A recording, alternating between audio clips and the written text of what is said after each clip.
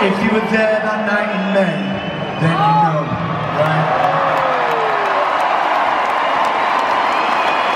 But the way that you all were was fucking incredible. And thank you so much for just lifting each other up and lifting us up that night.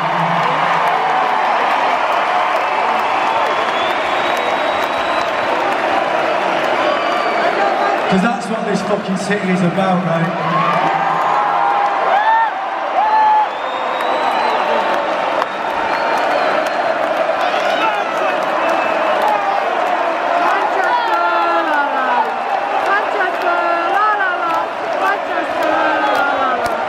So I guess really, there's nothing else to say except thank you for letting us do this for 10 fucking years, man. It's a bit mad, isn't it?